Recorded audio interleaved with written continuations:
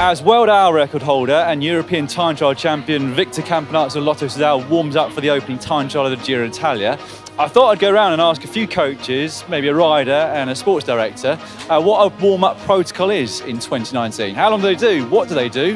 How long before the start do they stop? Do they do cool downs?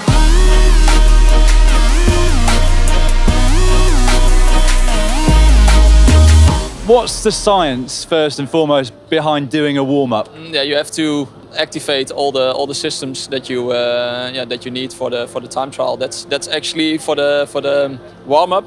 That's the case, and uh, we have a whole protocol uh, for it, uh, with also food included in it, with bottles included in it, bars. So there's a whole time schedule until the moment that you go off the roller, that you are ready to uh, to go to the start and to do your uh, your time trial. And does a warm up for a time trial differ if it's at the start of a grand tour versus if it's the last day or if it's a different length of time trial? No, no, no, not at all. Um, normally, uh, the, the only difference is that you have now before a grand tour, you're already two and a half days up front you are here. You can see the parcours already without that the fences are on the on the road. So you know the you know already what uh, what is coming up more than that you do it when it is during a, a certain stage race or during an um, uh, during an one of the TTs during the Grand Tour. And in terms of the warm up that Tom, for example, will be doing for the opening time trial today, how, how long is it and what are the efforts like that he'll do during that warm up? Ah, it's it's not going to be too long. It's around 20 minutes. Um, he will do some sprints. He will do some um, uh, some blocks of, uh, of efforts. So yeah, that, that's around 20 minutes, and then he's ready. Time trial warm ups eight kilometers today, what will be your protocol to get yourself going? Um, pretty pretty short one, like 20 minutes probably. Starting easy and um, progressing for let's say 10 minutes, a little bit easy, and then the last five minutes again, and some sport shorter sprints intervals, and then I hope um, well, my, my body is ready to go deep.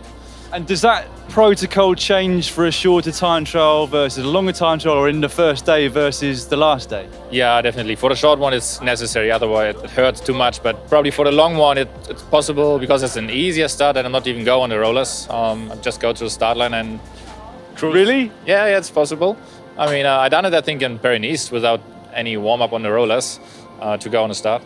And what about the difference between the road and the track? Obviously, world champion on the track you do multiple events, so the warm ups must be completely different for that.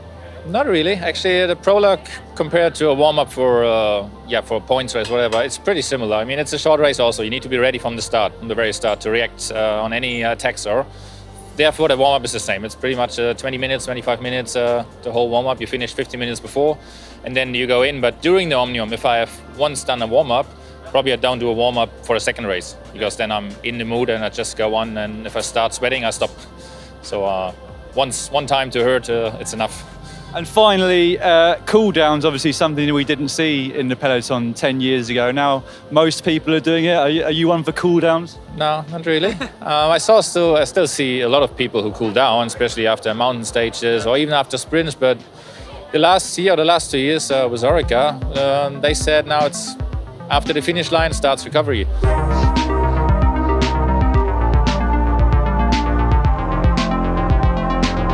Today, I mean, we it's warm.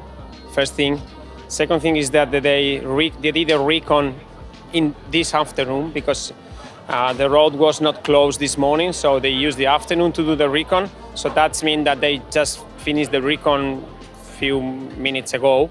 So it's not really necessary to do a long warm-up. Okay, so as you can see, the riders, they are to do a warm-up of 25 minutes, and then they, they uh, stop and they have five minutes to change clothing, to put the helmet on, and then another 15 minutes to go to the start because today is far away.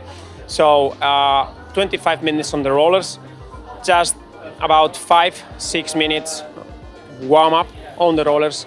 Then they do some progressions then they rest a little bit, and then they do uh, two accelerations of between 10 15 seconds. And you, of course, were a successful professional yourself. So, how have warm ups for time trials changed since the early part of your career?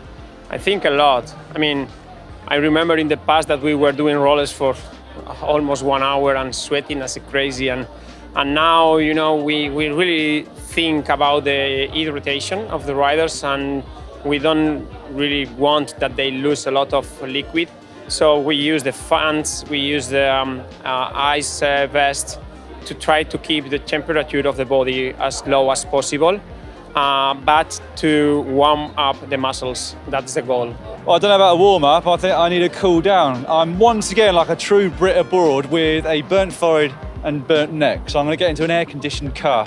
Uh, I hope you've enjoyed this video and learned something about how the riders in 2019 warm up for time trials like today. Uh, if you've enjoyed it, please give it a thumbs up just down below this video. And if you'd like some more content from the Giro, we've got some of the latest time trial tech for you just down here.